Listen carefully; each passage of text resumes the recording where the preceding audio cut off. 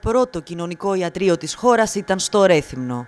Τρία χρόνια μετά το κλείσιμό του, η επανίδρυσή του ίσως είναι επιτακτική, καθώς σύμφωνα με τους εθελοντές γιατρούς, τη στιγμή που το Εθνικό Σύστημα Υγείας της Ελλάδας βιώνει πρωτόγνωρες και επικίνδυνες καταστάσεις, φαίνεται επικείμενη η άμεση ανάγκη για βοήθεια και προσφορά. Είναι σχεδόν ε, βαριά κουβέντα δεδομένο ότι μοιάζει να, να ξαναχρειαστεί. Ε, δεν ξέρω αν υπάρχει η δυνατότητα να ξαναδημιουργηθεί αυτό. Είναι τραγικό, αλλά ενώ αρχίζουμε να βρισκόμαστε σε πολύ χειρότερες συνθήκες και θα το δούμε πολύ άμεσα, γιατί πρώτη φορά διαλύεται το ΕΣΥ και πολύ συνδυτά διαλύεται το ΕΣΥ. Πάντα υπήρχαν προβλήματα. Πάντα.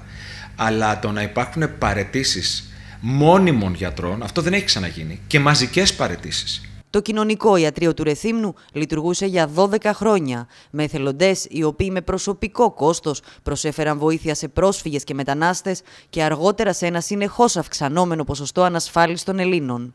Έβαλε λουκέτο την εποχή της πανδημίας, κυρίως λόγω του ότι ευτυχώς έπαψε να είναι αναγκαίο αφού καθιερώθηκε η ελεύθερη πρόσβαση των πολιτών στη δημόσια υγεία. Στην αρχή απευθυνόταν κυρίως στους ε, πρόσφυγες και μετανάστες, οι οποίοι ήταν τότε τους λέγαμε άνθρωποι φαντάσματα για το ε, σύστημα υγείας, επειδή δεν, δεν παρουσιαζόταν πουθενά. Ακριβώς επειδή είναι χαρτιά, φοβόντουσαν να παρουσιαστούν σε ε, δομές υγείας, σε συνδυασμό και με την πανδημία, όπου εκεί πέρα ήταν πολύ δύσκολη η όλη δυνατότητα να λειτουργούμε ένα γιατρείο κατά από συνθήκες τέτοιες.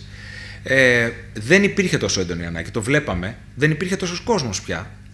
Ε, οπότε από τη στιγμή που άρχισε το σύστημα να, να λειτουργεί και να καλύπτει τις ανάγκες, έπαψε πια να υπάρχει η ανάγκη του, του κοινωνικού ιατρίου, του ιατρίου κοινωνικής αλληλεγγύης. Ο κύριος Βαράκης δηλώνει στην κάμερα της Κρήτη TV ότι από εκείνη την εποχή νοσταλγεί ιδιαίτερα την ανθρώπινη επαφή μέσω των σημαντικών δράσεων που πραγματοποιούνταν για να καθοδηγήσουν τις νέες μητέρες. Εμένα προσωπικά, εμένα όμως, αυτό που μου λείπει είναι η άμεση επαφή με τον κόσμο όταν έκανα στα πλαίσια του, του κοινωνικού ιατρίου.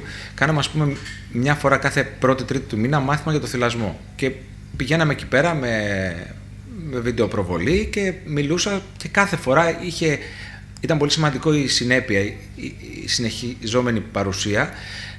Είχε 10-15 έγκυες γυναίκες, οι οποίες καθώς και κάναμε μάθημα για τον uh, μητρικό θυλασμό. Σε παράλληλη πορεία με το κοινωνικό ιατρείο κινήτο και το κοινωνικό φαρμακείο, κλείνοντας την ίδια χρονική περίοδο με το φαρμακευτικό κόσμο να τονίζει ότι και μόνο η ιδέα της ανάγκης ύπαρξης παρόμοιων εθελοντικών δομών αποτελεί ντροπή για την κοινωνία σε ένα κράτος που θα έπρεπε να προσφέρει δημόσια δωρεάν υγεία. Θεωρώ ότι είναι αδιανόητο να έχουμε φτάσει στο 2024 και να φτάνουμε στο σημείο, δυστυχώς, να ξανασυζητάμε για την πιθανότητα να έχουμε ανάγκη ξανά για κοινωνικά φαρμακεία όταν αυτό που πραγματικά έχουμε ανάγκη είναι κοινωνικό κράτος.